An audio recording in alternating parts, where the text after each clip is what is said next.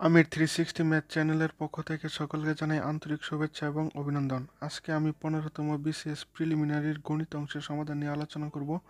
তো এখানে প্রথম প্রশ্নটি হচ্ছে, চৌষট্টি কিলোগ্রাম বালি ও পাথরের টুকরোর মিশ্রণে বালির পরিমাণ পঁচিশ পার্সেন্ট কত কিলোগ্রাম বালি মিশালে নতুন মিশ্রণে পাথরের টুকরোর পরিমাণ চল্লিশ পার্সেন্ট হবে? তো এখানে চৌষট্টি কিলোগ্রাম বালি ও পাথরের টুকরোর মিশ্রণে বালির পরিমাণ হচ্ছে পঁচিশ পার্সেন্ট তাহলে আমরা বের করি প্রথমে বালির পরিমাণ। তাহলে বালির পরিমাণ হবে চৌষট্টি এর পঁচিশ পার্সেন্ট সমান চৌষট্টি গুণ পঁচিশ পার্সেন্টের জন্য নিচ্ছে একশো। এখন যদি আমরা ক্যালকুলেশন করি, তাহলে হবে ষোলো। অর্থাৎ বালির পরিমাণ হচ্ছে ষোলো কিলোগ্রাম। তাহলে পাথরের মিশ্রণের পরিমাণ হবে বা পাথরের পরিমাণ চৌষট্টি মাইনাস ষোলো কিলোগ্রাম সমান আটচল্লিশ কিলোগ্রাম। তাহলে এখন মনে করি যে নতুন মিশ্রণে পাথরের টুকরোর পরিমাণ চল্লিশ পার্সেন্ট হবে যদি এক্স পরিমাণ বালি মিশাই। বালির পরিমাণের সাথে যদি আমরা এক্স পরিমাণ যোগ করি, ষোলো প্লাস এক্স এবং পাথরের পরিমাণ ছিল আটচল্লিশ ইকুয়াল টু চল্লিশ পার্সেন্ট পাথরের টুকরোর পরিমাণ হবে চল্লিশ পার্সেন্ট অর্থাৎ পাথর যদি হয় চল্লিশ, তাহলে বালির পরিমাণ হবে ষাট। তাহলে এখানে লিখতে পারি ষাট অনুপাত চল্লিশ। এখন যদি এটাকে আমরা ক্যালকুলেশন করি ষোলো প্লাস এক্স বাই আটচল্লিশ ইকুয়াল টু ষাট বাই চল্লিশ। তাহলে তিন বিশে ষাট, বিশ দুগুণে চল্লিশ। এখন যদি আর গুণন করি, তাহলে হবে ষোলো দুগুণে বত্রিশ plus two x equal to আটচল্লিশ গুণ তিন। তাহলে টু এক্স ইকুয়াল টু এখন আটচল্লিশকে যদি তিন দ্বারা গুণ করি তাহলে হবে তিন ওটা চব্বিশের চার, হাতের হচ্ছে দুই। তিন চারা বারো, দুই চোদ্দ। একশো চুয়াল্লিশ মাইনাস বত্রিশ। বা টু এক্স ইকুয়াল টু একশো চুয়াল্লিশ থেকে যদি বত্রিশ মাইনাস করি তাহলে হবে একশো বারো।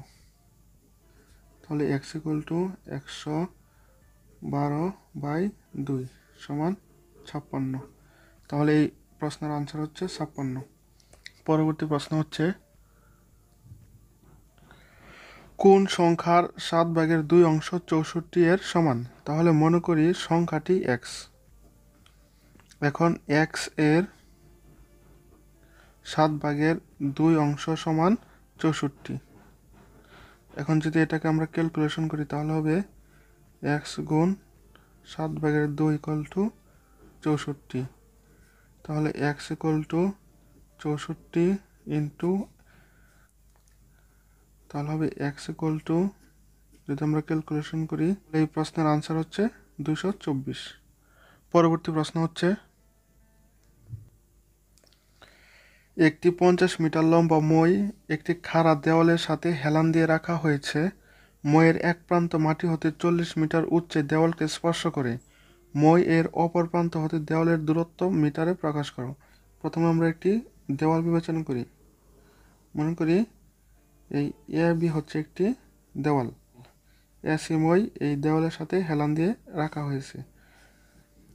এখন ময়ের এক প্রান্ত মাটি হতে, তাহলে ময়ের এক প্রান্ত এই দেওয়ালের চল্লিশ মিটার উঁচুতে দেওয়ালকে স্পর্শ করে।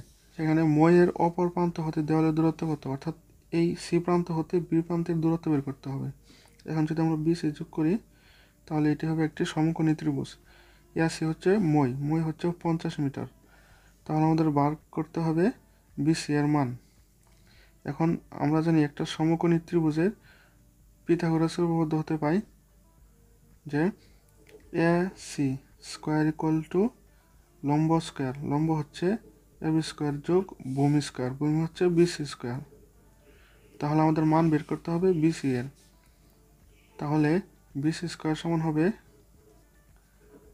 S square minus A B square এখন এস স্কোয়ারের মান হচ্ছে পঞ্চাশ এবং এ বি স্কোয়ারের মান হচ্ছে চল্লিশ।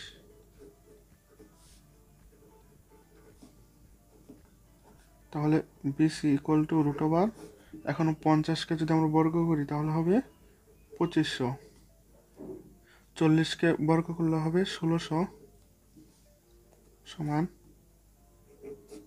পঁচিশশো থেকে ষোলোশো যদি মাইনাস করি তাহলে হবে নয়শো। এখন নয়শোকে যদি বর্গ করি তাহলে হবে তিরিশ। তাহলে ভূমির পরিমাণ হচ্ছে তিরিশ। মই এর অপর প্রান্ত হতে দেওয়ালের দূরত্ব হচ্ছে তিরিশ মিটার। এটি হচ্ছে প্রশ্নের আনসার পরবর্তী প্রশ্ন হচ্ছে two plus x plus three equal to three into x plus two হলে এক্সের মান কত? তো এটি একটি সরল অঙ্ক। এখন এখানে two plus x plus three equal to three x plus six এখন আমরা এই থ্রি এক্সকে পাশে আনি তাহলে হবে minus three x equal to six minus two minus three তাহলে minus two x equal to six minus five তাহলে minus two x equal to one তাহলে x equal to minus half তাহলে এক্সের মান হচ্ছে মাইনাস হাফ এটি হচ্ছে এই প্রশ্নের আনসার পরবর্তী প্রশ্ন হচ্ছে, কোন সংখ্যাটি বৃহত্তম? তো এখানে জিরো পয়েন্ট থ্রির মান তো জানি আমরা। এখন আমরা জানি যে কোনো দশমিক সংখ্যাকে যদি আমরা বর্গমূল করি, তাহলে ওই সংখ্যাটি পরিমাণে বৃদ্ধি পায়। এখন রুট ওভার জিরো পয়েন্ট থ্রিকে যদি আমরা বর্গমূল করি, তাহলে হবে জিরো পয়েন্ট ফাইভ ফোর তাহলে এখানে সবচেয়ে বড় সংখ্যা হচ্ছে root over zero point three হচ্ছে প্রশ্নের আনসার পরবর্তী প্রশ্ন হচ্ছে, এক থেকে নিরানব্বই পর্যন্ত সংখ্যার যোগফল। আচ্ছা এখন এক প্লাস দুই প্লাস তিন plus dot dot dot plus নিরানব্বই। এভাবে নিরানব্বই পর্যন্ত সংখ্যার যোগফল বের করতে হবে। তো এখানে পদ সংখ্যা হচ্ছে নিরানব্বই, অর্থাৎ এন ইকুয়াল টু নিরানব্বই। এখন আমরা জানি ইয়ানতম পদের সমষ্টি হচ্ছে N by two two A plus N minus one into D এখানে এন হচ্ছে পদ সংখ্যা এ হচ্ছে প্রথম পদ এন হচ্ছে পদ সংখ্যা এবং ডি হচ্ছে সাধারণ অন্তর। তাহলে এন হচ্ছে নিরানব্বই। টু ইন্টু, প্রথম পদ হচ্ছে ওয়ান প্লাস এন হচ্ছে নিরানব্বই মাইনাস এক ইন্টু ডি, ব্যবধান হচ্ছে এক। নিরানব্বই ভাগ দুই গুণ দুইয়ের সাথে এক গুণ করলে দুই প্লাস নিরানব্বই থেকে এক বিয়োগ করলে হবে আটানব্বই গুণ এক সমান নিরানব্বই ভাগ দুই গুণ একশো। তাহলে পঞ্চাশ দুগুণে একশো। এখন নিরানব্বইকে পঞ্চাশ দ্বারা যদি গুণ করি, তাহলে হবে চার হাজার নয়শো পঞ্চাশ। তাহলে চার হাজার নয়শো পঞ্চাশ হচ্ছে এই প্রশ্নের আনসার পরবর্তী প্রশ্ন হচ্ছে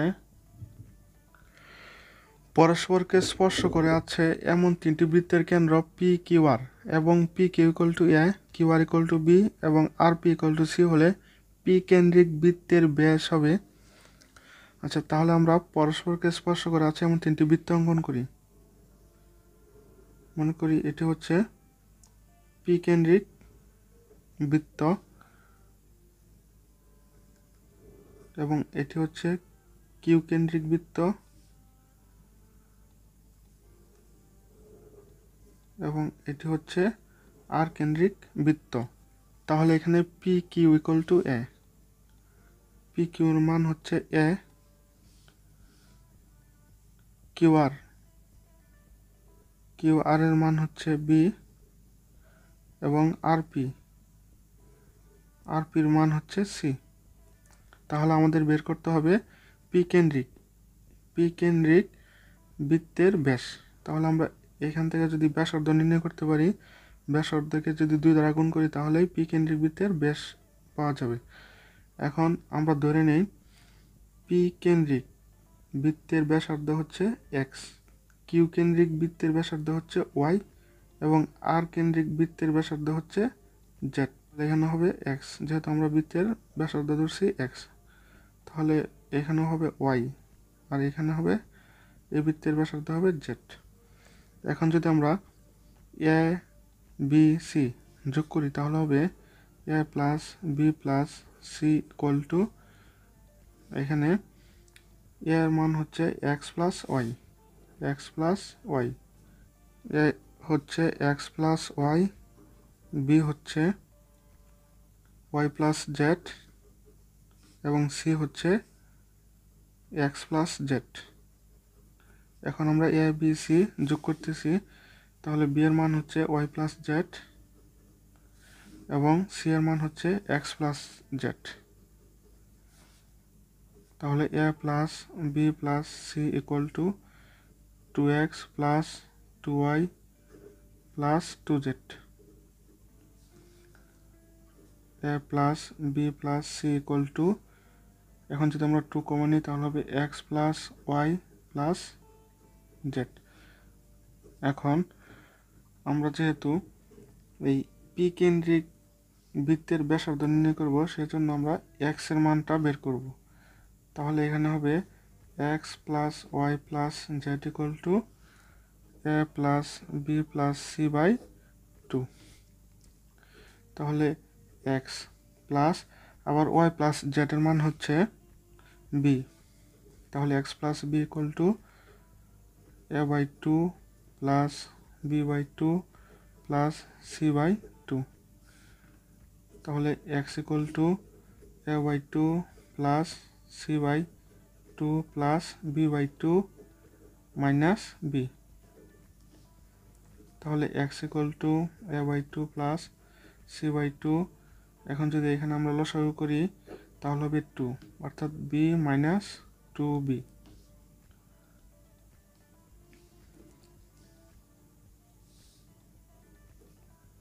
বা x equal to A by two plus C by two এখন টু বি থেকে যদি প্লাস বি চলে যায়, তাহলে থাকবে মাইনাস বি বাই টু এখন যদি এখান থেকে আমরা টু কমন নিই, তাহলে হবে half A minus B plus C বৃত্তের ব্যাসার্ধ হচ্ছে half A minus B plus C তাহলে বৃত্তের ব্যাস হবে ব্যাসার্ধকে দুই দ্বারা গুণ, তাহলে two x equal to half into two A minus B plus C two two কাটা, তাহলে থাকে A minus B plus C তাহলে বৃত্তের পি কেন্দ্রিক, বৃত্তের ব্যাস হচ্ছে A minus B plus C এটি হচ্ছে প্রশ্নের answer x plus y minus one equal to zero x minus y plus one equal to zero এবং y plus three equal to zero সরলরেখা দ্বারা গঠিত ত্রিভুজটি কী? এখানে তিনটি সরলরেখা দেওয়া আছে। এই তিনটি সরলরেখার সাহায্যে আমরা ত্রিভুজের তিনটি শীর্ষবিন্দু নির্ণয় করব। তো ত্রিভুজের তিনটি শীর্ষবিন্দু নির্ণয় করার জন্য আমরা তিনটি এই সমীকরণগুলোকে সমাধান করব, অর্থাৎ এক্স এবং ওয়ের মান বের করব। এখন এখানে যদি আমরা ক্যালকুলেশন করি, তাহলে ওয়াই ইকুয়াল টু হবে মাইনাস থ্রি এখন এই y equal to minus three এক নং সমীকরণে যদি বসাই y equal to minus three বসাইতেছি, তাহলে এক্স মাইনাস ওয়াই হচ্ছে minus three minus one equal to zero তাহলে x equal to x minus four equal to zero তাহলে এক্স ইকুয়াল টু ফোর এখন আমরা y equal to minus three বসিয়ে পাইছি x equal to four তাহলে ধরি একটা শীর্ষবিন্দু A x y equal to x হচ্ছে ফোর এবং ওয়াই হচ্ছে মাইনাস থ্রি আবার আমরা y equal to minus three যদি এই সমীকরণে বসাই y equal to minus three বসাচ্ছি, তাহলে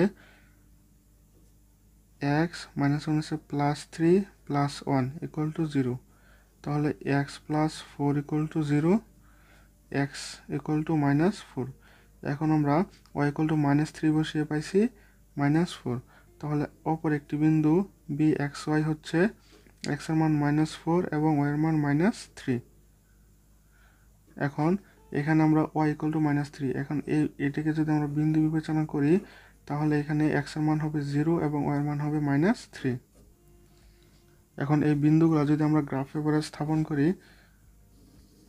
মনে করি এটি একটি গ্রাফ পেপার যেখানে এটি হচ্ছে মূল বিন্দু। এটি হচ্ছে প্রতি একক। এটি হচ্ছে plus plus minus minus plus minus minus plus. তাহলে এখানে আছে ফোর মাইনাস থ্রি। হচ্ছে এ বিন্দু। এ বিন্দুটি যদি স্থাপন করি, তাহলে ফোর চার গড় যাবে এক, দুই, তিন, চার গড়। মাইনাস থ্রি নিচের দিকে তিন গড় আসবে। এক গড়, দুই গড়, তিন গড়। তাহলে এখানে হচ্ছে এ বিন্দুর অবস্থান। এখন যদি আমরা বি বসাই, তাহলে হবে minus four, minus three. Minus four হচ্ছে এখানে এবং মাইনাস থ্রি তিন গড় এইখানে তাহলে এটি হচ্ছে বি বিন্দু আর সি বিন্দু হচ্ছে zero minus three. Zero minus three উপরের দিকে যাবে এক, দুই, তিন ঘর। এখন এগুলো যদি আমরা যোগ করি তাহলে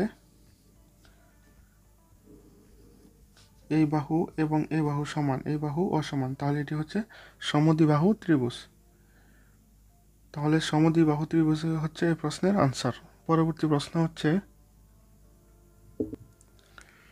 A equal to one B equal to minus one C equal to two D equal to minus two হলে যদি এটিকে আমরা ক্যালকুলেশন করি তাহলে হবে A minus S plus B minus S plus C minus one plus D এখন এর মান হচ্ছে ওয়ান প্লাস বি এর মান হচ্ছে মাইনাস ওয়ান প্লাস সি এর মান হচ্ছে টু প্লাস ডি এর মান হচ্ছে মাইনাস টু তাহলে one plus S minus one plus two plus one S minus two এখন minus one plus one plus two minus two কাটা, তাহলে এখানে হবে জিরো অর্থাৎ এই প্রশ্নের আনসার হচ্ছে জিরো